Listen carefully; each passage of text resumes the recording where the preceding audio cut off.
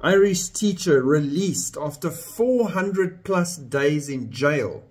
Now, what could the teacher have done? 400 days in jail, a year and then some, must have done something to a child, you know, abused someone, must be something horrific, right? They were jailed over refusal to use transgender pronouns. Yeah, yeah, true story. According to reports, Enoch Burke was released while Irish schools are on summer recess, but that he's at risk of returning to jail if he breaks conditions of his release that include a ban on going back to the school where he taught. The saga surrounding the jail teacher has been ongoing since 2022.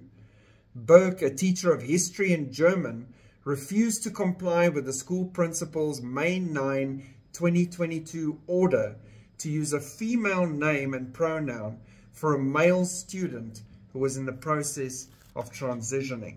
This escalated and escalated to the point where he was locked up for 400 plus days.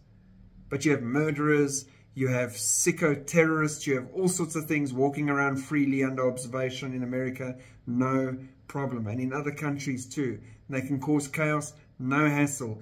Imams in your countries can preach from their pulpits death and murder to Christians, Jews, everything else, even their protected species of alphabet soup, and they won't go to jail.